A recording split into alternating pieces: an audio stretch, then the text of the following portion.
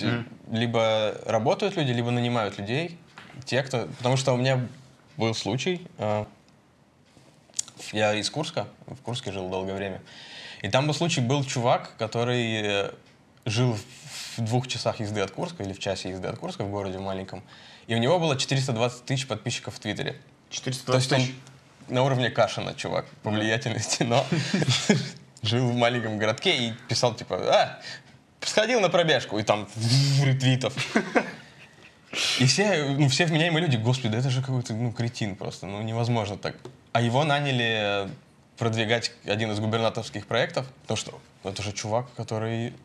Это разбирает. 420 тысяч, это же, блин, полкурска, Да. если не больше. Это боты, может быть, или он реально был такой? Не- он, нет, он просто накру- ну, вот этот масс-фолловинг, который был в Твиттере ра- ранее. А, ты фолловишь меня, я тебя. Да.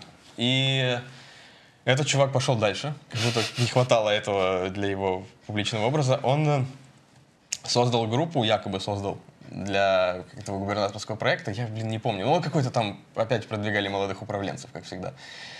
Э, Он создал группу э, «Губернаторская тысяча», я не помню. А чуваки, журналисты, которые дружат с компьютером, пробили по каким-то идентификаторам группы, что раньше она называлась, что это было «Окупай педофиляй Курск». Они переименовали группу, сменили аватарку, и он пошел и отчитался, что вот смотрите, у меня 3000 человек.